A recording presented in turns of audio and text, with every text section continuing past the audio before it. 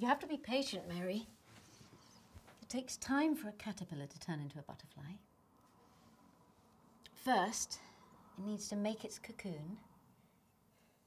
And then, it takes time for it to transform.